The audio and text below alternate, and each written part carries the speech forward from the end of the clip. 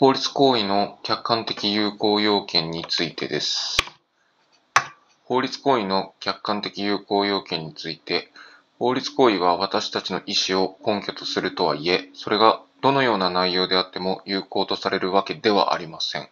社会にとってその内容が妥当なものとして受け入れられることが必要です。したがって有効要件を満たして初めて有効に法律行為が成立するのであって、効力の発生はその後に問題となるのです。具体的にはどういった要素が必要とされるのか、民法は確定可能性や適法性や社会的妥当性の3つを柱に法律行為の有効性を判断しようとしています。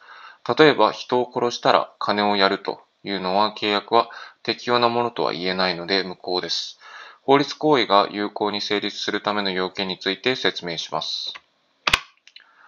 客観的有効要件について、まず契約内容の確定可能性について、契約をはじめ法律行為は人の意思実現に法が助力する制度であります。メールはないのですが、契約の内容がいくら解釈を尽くしても確定し得ないほど不明確なものである場合は法は助力を拒むほかなく契約は無効となります。続いて契約内容の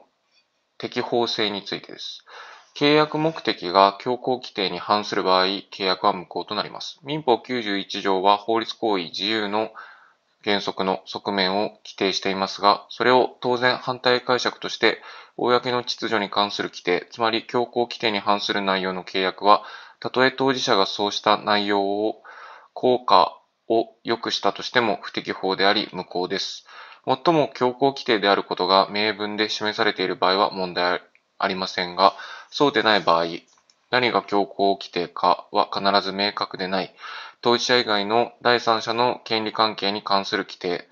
私的自治の前提に関する規定、基本的な社会秩序に関する規定、経済弱者保護の規定などは強行規定と返されます。